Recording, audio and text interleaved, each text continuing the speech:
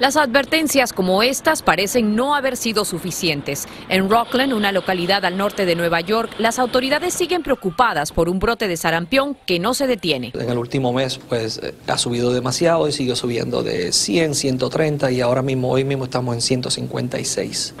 Dos días después de haberse prohibido el ingreso de personas no vacunadas contra el sarampión a lugares públicos, todavía se registran nuevos casos en este condado que se convirtió en la primera localidad en el país en aplicar estas medidas. El propósito no es arrestar gente, el propósito no es eh, llevarlo con cargos criminales, el propósito es que decir a la gente, esto es en serio, pero ni la multa de 500 dólares que se les imponen es suficiente.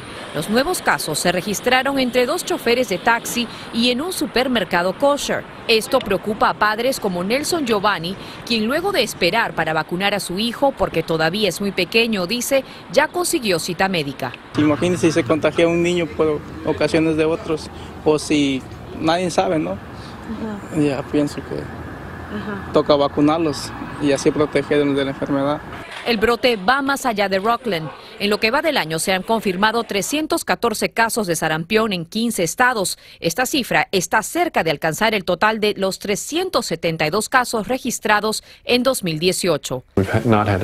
Sin embargo, doctores de este condado dicen que la respuesta ha sido importante, ya que ha incrementado la cantidad de padres que piden vacunar a sus hijos.